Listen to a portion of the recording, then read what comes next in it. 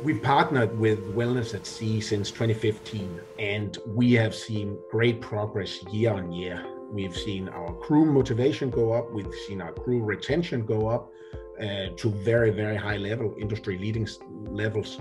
Uh, and that has had a positive impact on the operational performance on our fleet.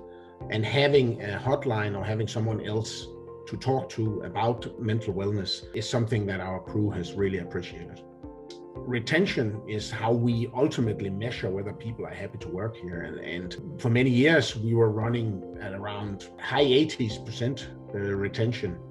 But over the past couple of years, uh, we've moved that up to a stable uh, 95 plus percent.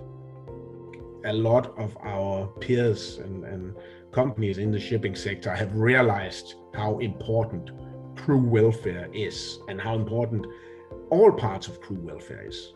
So this is an area that any good company should obviously be looking at any given day.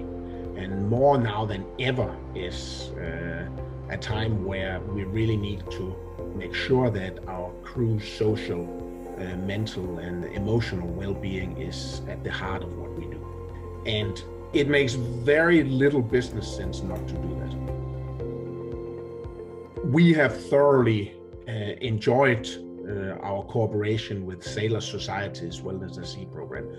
It is uh, something that has taught us a lot, and it is something we will continue to develop uh, over the coming years.